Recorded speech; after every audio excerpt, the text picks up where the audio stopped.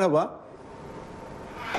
Merhaba açılı yayınlar. Teşekkür ediyoruz. Aslında pozitif hava hemen hemen piyasanın her kesiminde kendini gösteriyor. 2.66'ların altı var mı yok mu diye bakan bir dolar TL görüyoruz. 1.12'lere gelen bir euro dolar görüyoruz. Dolayısıyla buradaki pozitif atmosfer bizi nasıl etkiliyor? Nereye kadar aşağı gelebiliriz örneğin euro dolarda?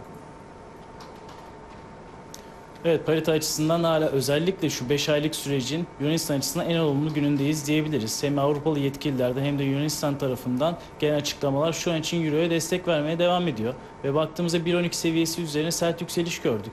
Genel olarak da bu yükselişin biraz daha devamını görebiliriz. Şu an için Yunanistan'ın sunmuş olduğu paketin biraz daha kabul edileceği beklentisi piyasada şu an olumlu algılanıyor.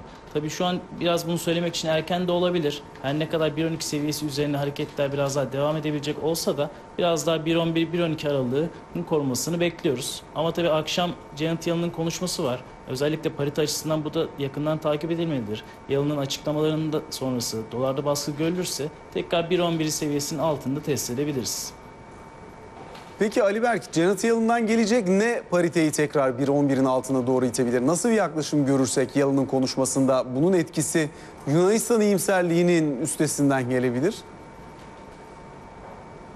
Tabii şu an için baktığımızda Amerika'da istihdam konusunda biraz daha iyileşmenin görüldüğü fakat bu toplantı tutanaklarında özellikle tabii e, faiz artışının her ne kadar son çeyreğe doğru erteleneceği düşünülse de biraz daha büyümeye dair endişeler ön plana gelmişti. Janet Yellen'ın bu akşam yapacağı konuşmada özellikle büyümeye dair yapacağı açıklamaları önemli takip edeceğiz. Ve büyümeye de yaklaşıldığını ve hedeflere daha yakın olunduğunu, özellikle de enflasyon tarafında da pozitif bir seyrin devam ettiği yeni yılın açıklamalarında gelirse biz paritede 1.11 seviyesi altını test edebiliriz. Ama aksi durumlarda biraz daha paritede Yunanistan gelişmeleri ön planda olmaya devam edecektir. Ve esas tabii bu parite üzerindeki fiyatlamaları da pazartesi günü Yunanistan sonucunda göreceğiz.